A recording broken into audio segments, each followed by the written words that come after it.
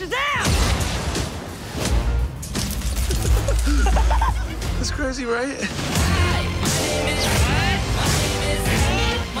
His name is Captain Sparklefingers.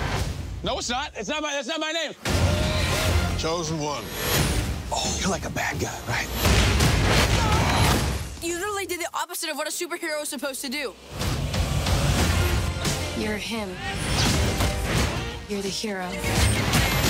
You're welcome for not getting robbed. I'm Batman. Get him, Batman!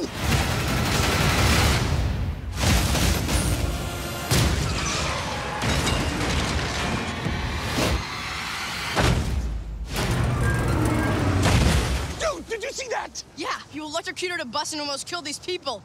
And then I caught it.